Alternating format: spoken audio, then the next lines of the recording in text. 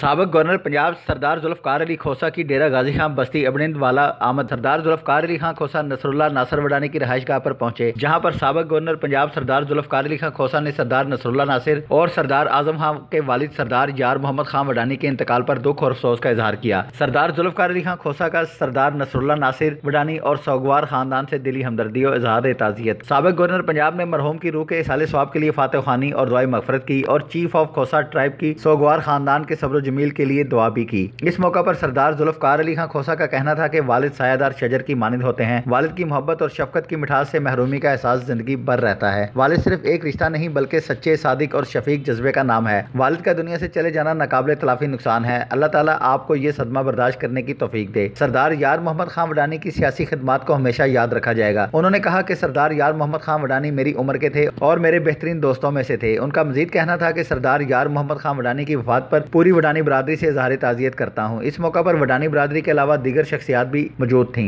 Gauraha वडानी Dera Ghazi Khan